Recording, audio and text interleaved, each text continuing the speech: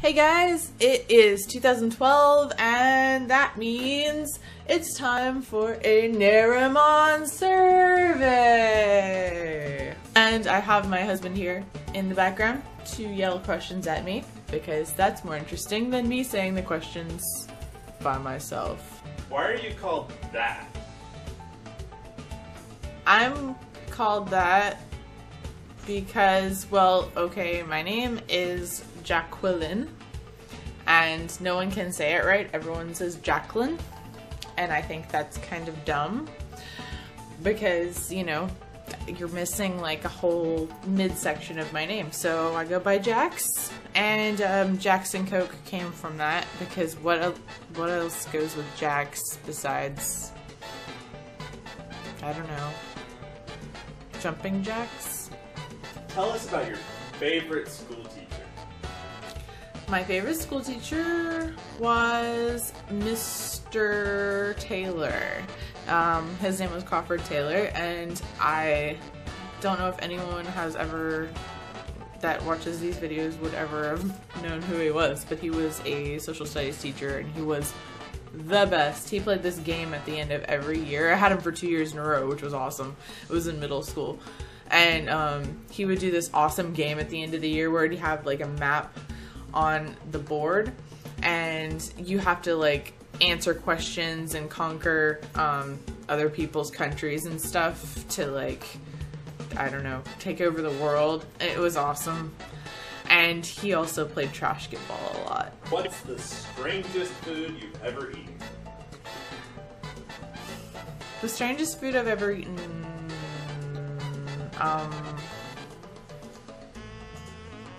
Ew, yeah. Mollejas. It's beef salivary gland. And apparently, if you barbecue it, it's really good. And I gotta admit, it tasted good once, but once I realized that the juices were like cow spit, I, I, I couldn't hold it down anymore. Tell us about your first gig. My first gig, which means concert in America.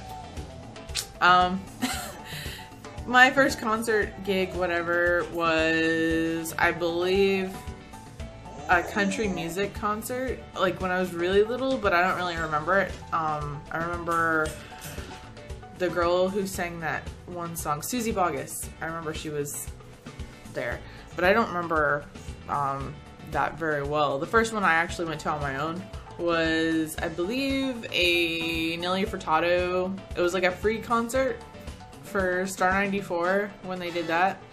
And uh, it was here in Atlanta, actually, which is awesome, uh, the Bicentennial Olympic Park. What is your favorite place in the world?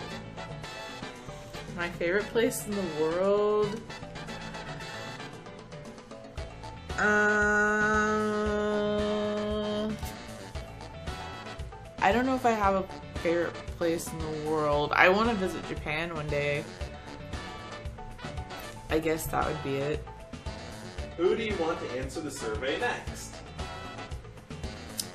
Everyone, because I don't believe in tagging people. Um, but if I were to tag someone, I would tag uh, Rose Garden and some numbers.